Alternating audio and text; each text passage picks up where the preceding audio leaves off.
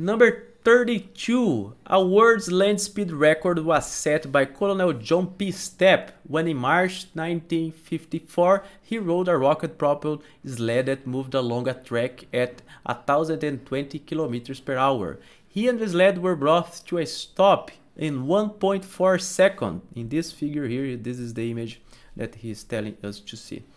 In terms of g, what acceleration did he experience while stopping?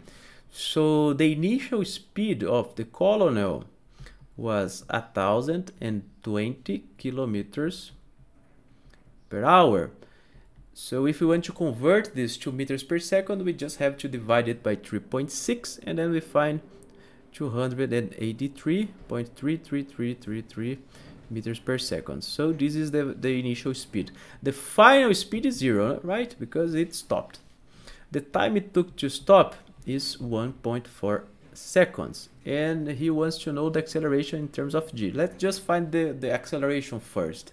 Since let's suppose that acceleration is constant. If the acceleration is constant there are three different equations that we can use. But in this case we will use v equals to v0 plus at so this is valid if the acceleration is constant. We want to find a a equals to v minus v0 over t. I just isolated the acceleration. So let's replace the variables by the numbers. So the final speed is 0.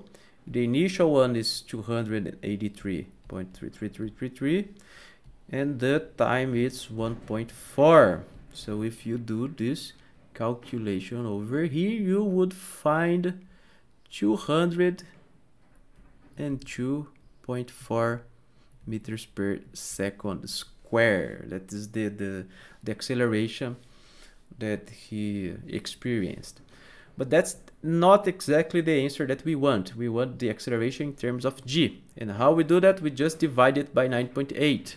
So the acceleration is equal to 202.4 and we want to divide it by 9.8 and 9.8 is just g right? So this is equal to 1 this term here is equal to 1 this is a g right? This is a g not not a 9 this is a g.